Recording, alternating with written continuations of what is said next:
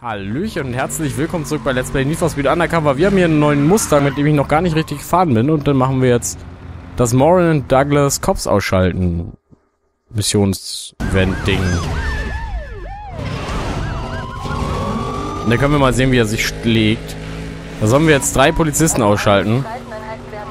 Ich halte diesen, Polizei äh, diesen Wagen für sehr wuchtig, von daher kann ich mir gut vorstellen, dass man damit den einen oder anderen Wagen wegrammen kann kann aber auch einfach so machen. Ich glaube, das waren jetzt schon drei. Ja. So, jetzt entkomme ich noch schnell.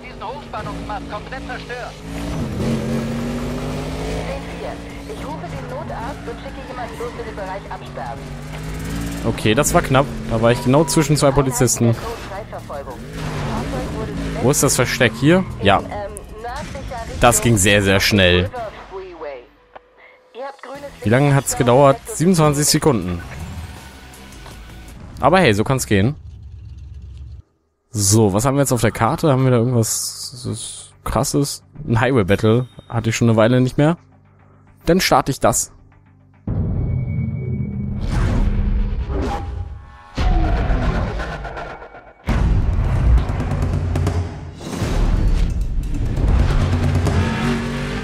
Sehe gerade, hinten geht dieses Vinyl gar nicht bis ganz runter.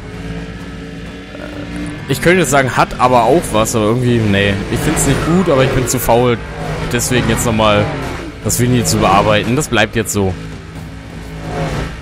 Die Optik ist eh nicht ganz so wichtig. So, schon geschafft. Mit diesem Wagen geht alles so schnell. Äh, 18 Sekunden. Na, meinetwegen, mich soll es nicht stören. So, was steht jetzt noch? Da war noch ein Highway Battle. Und hier haben wir ein Master Event. Das ist, ist das ein Rundkurs? Ja. Nee, das ist neu. Aber das ist so ein Kreiselum. Heißt es nicht auch, dass es ein Master Event ist? Äh, was auch immer. Wir starten das jetzt. Ich glaube, dieser Kreisel darum, dieses, das heißt, das heißt Master Event. Was genau das heißt, dass es ein Master Event ist, weiß ich aber auch immer noch nicht. Du gehörst nicht zu den Guten und nicht zu den Bösen. Oh nein, die haben einen... Oh, sie haben einen, einen schleimgrünen Lamborghini. Das gefällt mir sehr gut. Okay, mein Start ist deutlich langsamer als der von denen.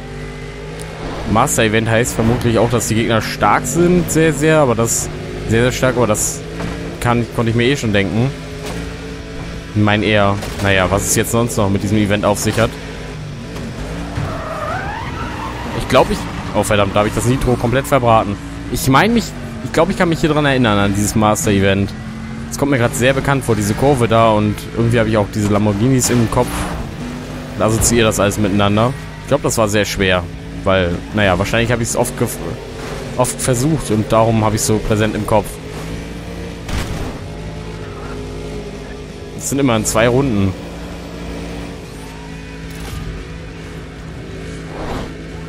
Wow. Ich habe nicht mal gesehen, in welche Richtung die Kurve ging. Ich hätte auf die Minimap gucken können, aber hey. das wäre doch viel zu einfach. Was hat der da für einen Wagen? Ne. Das geht gar nicht in Ordnung.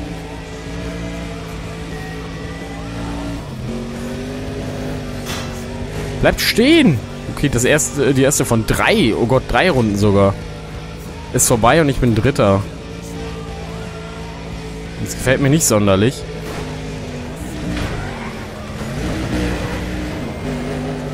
Ich mag auch nicht, wie der Wagen sich steuert, aber das wusste ich von vornherein, dass mir der Audi besser gefallen haben wird. Ähm, ich mag, oh Gott. Ich mag die Audis in Need for Speed Spielen irgendwie fast immer.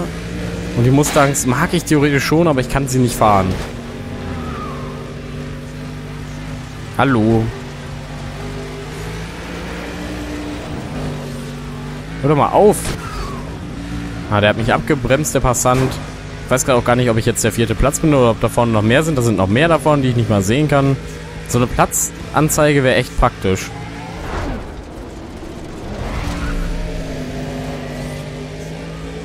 Gott, sind die schnell.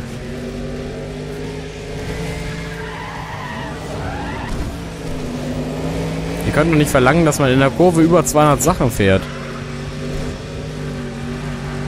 Was setzt denn das für ein Zeichen an die, die Kinder, ja, da draußen? Jetzt wollen die auch alle 200 Sachen in der Kurve fahren. G wird viele Tote geben nach diesem Let's Play, weil die, das Spiel kennen sie zwar nicht, aber das, diese Videos dann. Bin mir so sicher, ich, ich habe da vollkommen recht. Wow. Könnt ihr mal aufhören? Oh, das wird sowas von nicht funktionieren. Ich kann das Rennen sowas von knicken. Sind da vorne noch mehr als diese vier? Genau. Das versuche ich auch noch weiter. ich versuche es noch einmal neu. Da habe ich mir ja was eingebaut mit diesen Rennen. Aber gut, ich habe schon zwei Rennen, also eine Verfolgung und ein Rennen in diesem Part geschafft. Ich werde also nicht am Ende des Partes, ob, weil ich das hier weiter versuchen werde, so sein, dass ich das Gefühl habe, nichts geschafft zu haben. Ich muss mich dann nur noch daran erinnern, dass ich ja am Anfang was geschafft habe. Das wird ja lange vergessen sein. So.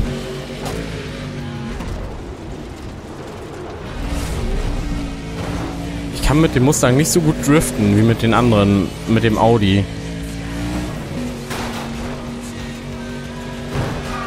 Das fällt mir direkt auf. Hm, hau ab. Bitte bleib stehen. Er springt auf keine meiner Taktiken an. Wow.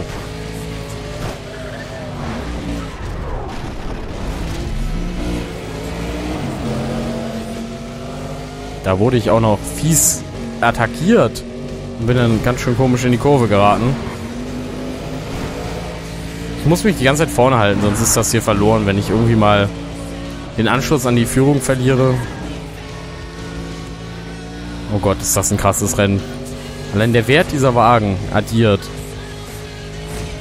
Das ist krass. Das ist echt eine große Zahl, die dabei rauskommt. Wenn man den Wert multipliziert, kommt sogar noch eine höhere Zahl bei raus. Krass. Bloß das hat, hat dann keinerlei Sinn mehr. Das ist dann einfach nur eine große Zahl. Oder kann man, wenn man die Werte von Sachen multipliziert, hier, in diesem Fall, was könnte man damit aussagen? Wofür wäre diese Rechnung von Nütze? Könnt ihr mir das sagen? Ich weiß es gerade nicht. Mir fällt da nichts ein. Dabei habe ich heute einen Test in Mathematik geschrieben. Das über Wahrscheinlichkeit. Das hat doch total viel damit zu tun. Das ging aber voll klar. Also ich habe kein Problem mit Mathematik. Das war mir von vornherein aber bewusst. Da habe ich zu spät in diese Richtung gedrückt. Ah, hätte er mich anders erwischt, denn... Oh Gott. Das ist erst die zweite Runde, aber ich bin mir jetzt so sicher, dass ich dieses Rennen verliere, wegen dieser einen Kurve. Wie eng die aber auch ist, die Kurve. Gut, diese drei komischen, die die ganze Kurve nehmen, die kann ich hier durch jetzt aber abhängen. Ach, jetzt wird mir auch mal abgezeigt, welchen Abstand ich habe. Das wurde mir sonst, glaube ich, bisher nicht angezeigt. Ich bin aber Dritter, wenn ich das richtig sehe. Und Sebi ist vom Bildschirm. Das sehe ich richtig.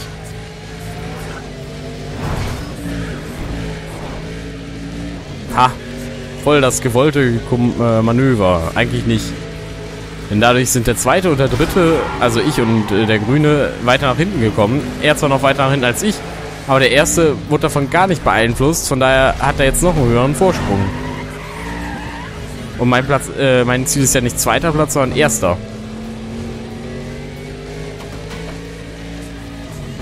Aber ich, ich bleib besser dran als im vorherigen Versuch.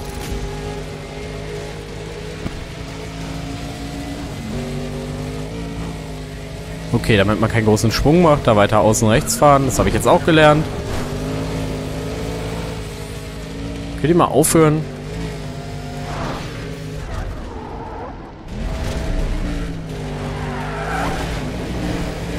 Hm. Naja, das war jetzt auch keine exzellente Kurvennehmung. Ich weiß das, ich bin, ich kenne mich aus. Ich bin professioneller Kurvennehmer. Kann sein, dass der Erste schon im Ziel ist. Ich finde, dann sollten sie einem so einen Hinweis sagen, hey, der Erste ist im Ziel. Dann brauchen wir es gar nicht weiter versuchen. Er ist doch nicht der Erste, oder? Nee. Oder? Dann bin ich jetzt Dritter, richtig? Position 3, ja. Wir versuchen es nochmal. Das war schaffbar. Bloß hatte ich dann so zwei, drei blöde Momente. Je mehr ich das sehe mit meinem Pfeilen da neben meinem Nummernschild, desto besser gefällt es mir. Komisch. Wahrscheinlich habe ich mich einfach damit abgefunden, dass es so bleiben wird, weil ich weiß, ich bin zu faul, es nochmal zu ändern.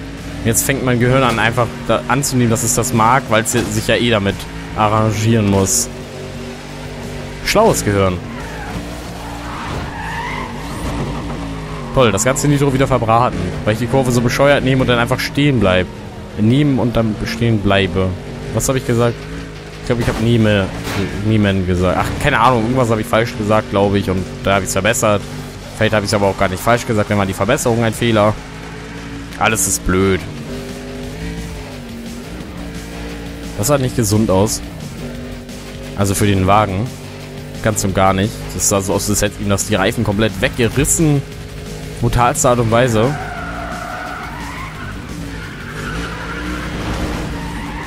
Ah, fangen, fangen, fangen. Nein. Okay, ich bin noch Zweiter. Der erste ist noch da vorne. Gut, ich habe es nicht geschafft, die Abkürzung zu nehmen. Was ist denn gerade los? Warum schlippert mein Wagen denn hier so rum?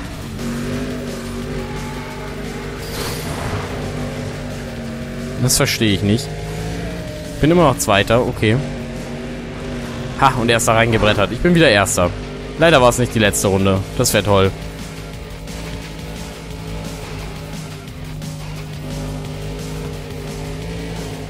So, hier lang. Uah. Oh Gott, ich bin gerade hochkonzentriert. Das war doch mal eine bessere Art und Weise, diese Kurve zu nehmen. Und da die anderen hier auch alle über die Straße fahren, nehme ich einfach mal an, dass das besser ist, als da durch den Dreck zu donnern. Mache ich jetzt auch. Wow!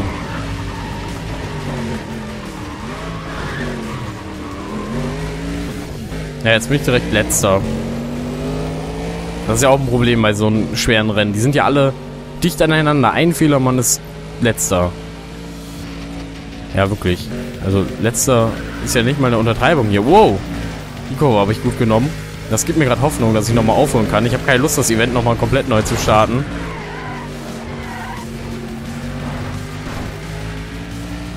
Hau ab. Ey, das, das, da vorne ist der Erste. Ich bin dicht dran. Oh nein, der Blau ist gar nicht mehr der Erste. Ist er wenigstens der Zweite? Ich glaube schon. Jetzt ist er übrigens der Dritte. Uah. Aber nicht mehr lange, wenn ich weiter so behämmert fahre. Denn, naja, ich bin jetzt Erster. Und genau das wollte ich damit sagen. Was auch immer.